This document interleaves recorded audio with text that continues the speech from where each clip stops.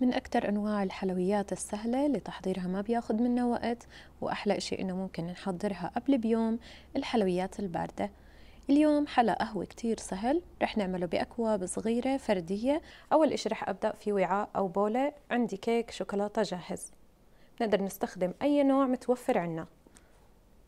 رح أخذ هذا الكيك وأفتته بإيدي عادي.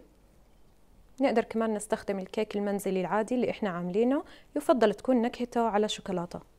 اخترت أقدمه بكاسات صغيرة لأنه الكمية اللي رح أعملها اليوم كمان مو كبيرة. رح أبدأ باستخدام معلقة أحط بكل كوب كمية من الكيك وأرصه داخلها شوي. بدي أعبي ثلث الكوب من تحت بالكيك.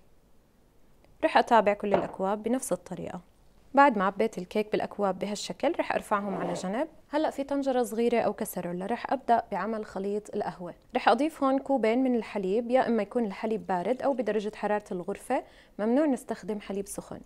ثلاث معالق كبيرة نشا نشا الذرة أو مايزينا معلقة كبيرة من النسكافيه أو القهوة سريعة الذوبان معلقة صغيرة من الكاكاو الخام غير محلى. معلقتين كبار سكر. آخر إشي رح أضيفه هو معلقة صغيرة فانيلا. رح أحرك هاي المكونات على البارد. قبل ما أرفعها على النار حتى تذوب معي كتل النشا والكاكاو والنسكافيه مع الحليب. حطيت الطنجرة على نار متوسطة مع التحريك المستمر. تقريبا بتحتاج دقيقتين لثلاث دقائق ليبدأ يتكثف معي الخليط ويغلي. ما رح تحتاج معي وقت كتير لأنه أنا عاملة كمية قليلة. نقدر نضاعف كل المكونات لنحصل على كمية أكبر. ونعمل نفس الطريقة باستخدام قالب كبير. ضروري جدا نستمر بالتحريك والنار ما تكون كتير عالية حتى ما ينحرق معي الحليب وما يتكتل معي النشا. بدأ معي الخليط يشتد ويتقل. ما بدي أغليه كتير مجرد غلوة واحدة حتى ما نفسد قوامه.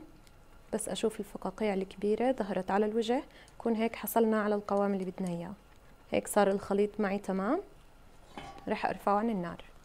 رح أبدأ هلأ أصب الحلى مباشرة وهو ساخن من النار فوق الكيك بالأكواب. لاحظوا كيف قوامه جامد؟ هيك لازم يكون معاكم. بحاول أوزع الخليط على كل الأكواب بالتساوي وإذا استخدمنا قالب كبير بنصب كل الكمية مباشرة. حاولت إني أساوي الوجه بواسطة معلقة وتركت شوية فراغ حتى أزين الأكواب. هلأ رح أتركها تبرد بدرجة حرارة الغرفة تماما. بالنسبة لتزيين الوجه بعد ما بردت الأكواب تماما هو اختياري. ممكن نتركها زي ما هي ممكن نرش وجهها بالكاكاو البودرة ممكن كمان نستخدم النوتيلا أو الشوكولاتة المبروشة. وكمان تقدروا تعملوا مثلي ونستخدم صوص الشوكولاتة الجاهز. عشان أنا أدعم النكهة أكتر وأخليها بنكهة الشوكولات زاكية.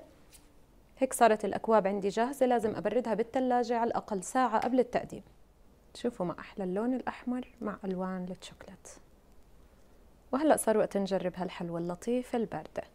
طبقات من النكهات اللطيفة صحتين.